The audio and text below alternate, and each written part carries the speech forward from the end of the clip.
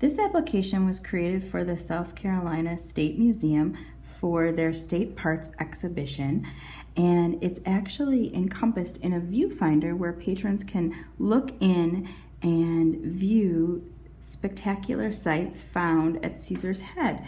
As they rotate the iPad, they obtain additional content as well as see native birds and insects that are found when looking out at Caesar's Head. The range of motion is controlled, so the visitors are only able to go a certain dimension up, down, left, and right. And it's using a virtual reality where they do not need an image target.